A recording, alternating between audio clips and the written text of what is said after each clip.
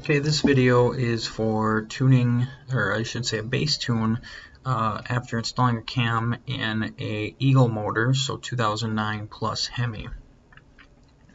Um, you know, it's it's good to watch the video that I did prior to this, which is the 2008 and before. There's a lot of information in that as well, uh, but a lot of the information is going to be the same. Okay, so uh, everything here that is green um, are things that I've changed. Not everything here is necessary. Like you don't need to worry about this here. Um, let's see. Now this is a manual transmission car. Um, and I did have to make this idle actually a little bit higher than the automatics. So technically I raised the idle to 800 RPMs. Uh, you can kind of see this is here where it was stock and this is what I moved it to. Uh, I lowered the cold RPM and then I raised the warm RPM down in here, uh, which is actually technically lower than this. But like I said in the past video, I prefer to use the least amount of idle possible um, without making the idle unreliable.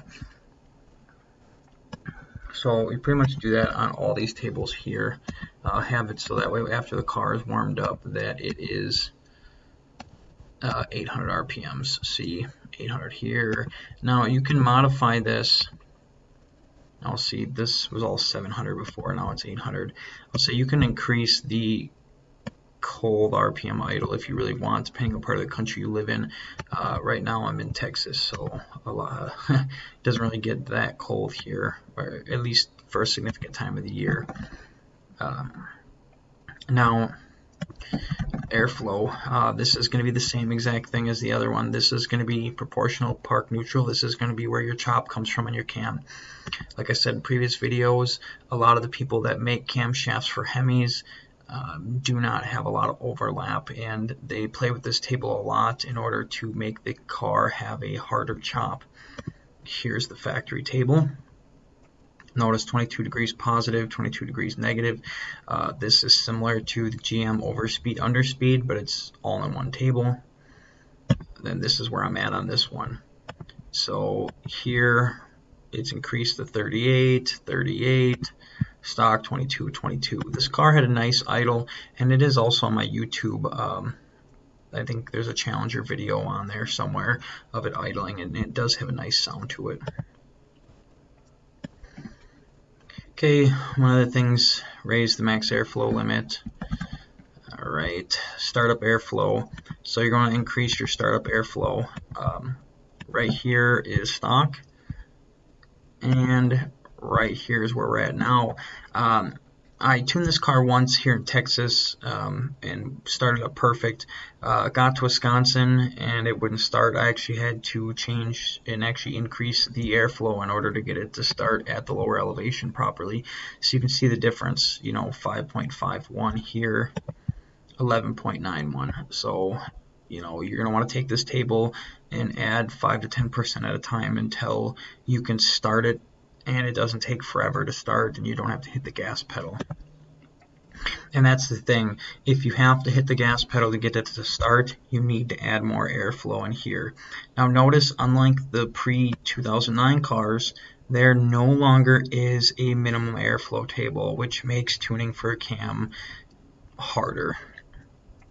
So next we'll go look at the spark. Okay, spark here, minimum base spark, you notice this table is significantly different um, than the pre-Eagles. Um, and that's because these tables are used differently. Minimum base spark I have here set to 10 here, 5 here. This is where it's at stock. You can see it's it's all over the place.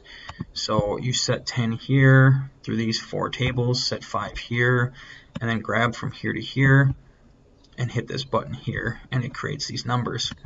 Do not do this on a pre-09. This is 09 and up only. This is stock. This is where we're at. Change this table, whole table to 10. Okay, a lot of this other stuff you don't have to pay attention to. They've, I've changed them for a reason that's not um, relevant to what you need here. Next is torque model loss. Most important table right here. Now this is what controls when the vehicle comes to a stop. This is the table that controls how fast the throttle body closes. You know, if you were not to change this table, this car would start up, it would run, it would drive, but every time you'd come up to an intersection, it would die. Okay, here's this table stock. 7 over here, 1.8 over here. Flip the table. I do 243 here, 5 in these two tables, and then I grab from here to here and hit the interpolate button. This right here I have found on this specific car, which is a 2014 Challenger with an HRT2 camshaft um, from Comp Cams, which is similar to an XFI 273. Um, this right here will make it so that you can come up to a stop without it dying. Um, so that's basically it. You need to change this table so that the car doesn't die when you come to a stop. You need to set the minimum spark so that the car idles properly. You need to set the startup airflow so that way you can start the car without having to press the gas pedal.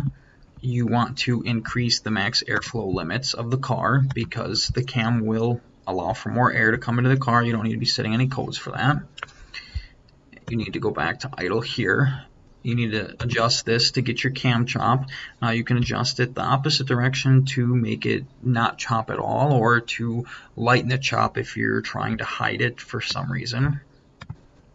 You're going to want to go to the RPM, increase or decrease RPM depending on how the user wants the car to run and that's the base what's necessary to um, tune a camshaft in a 2009 and up uh, Hemi vehicle. Now I do have other videos related to the transmission and related to the fuel injector pulse width um, that will help you dial in the car. Um, just for uh, example, I will show you. This is where we're at now. This car, the fuel trims always stay within 3 this is where it was stock. You can notice it's significantly different. And the thing is, the only thing that we changed was we put a cam in the car.